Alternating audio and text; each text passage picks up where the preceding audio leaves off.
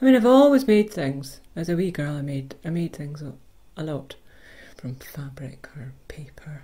I'm really interested in how materials work, um, and kind of playing about with them and dissecting them and, and making then making something with them.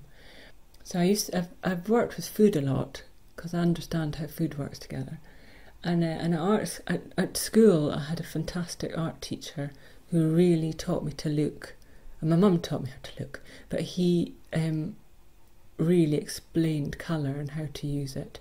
Uh, so that was the grounding in colour. So my teacher at, school also did sculpture with us, and that's just a lead on from making things with your hand anyway.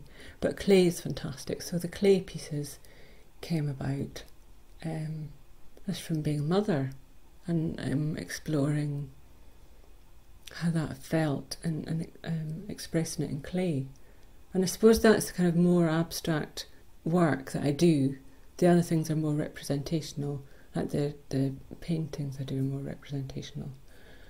And the books, I don't know.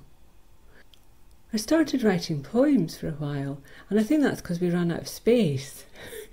My work got smaller and smaller and smaller, and then I ended up writing poems because there was no space.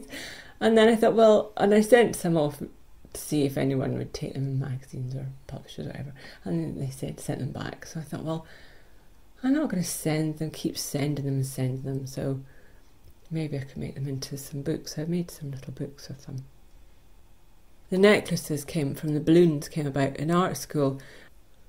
A couple of years ago, I was in Bain. I wasn't well for a long time, for like three months. So I was sitting in Bain. I thought, well, I could start cutting balloons again.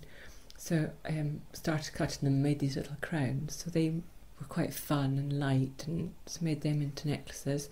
And then I started experimenting with the rest of the balloon.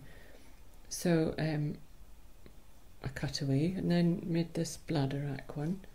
And that just started with one balloon, and then I decided I could just pile some more on. So I've had, I think it's about seven for one necklace. And it's just quite fun because it's light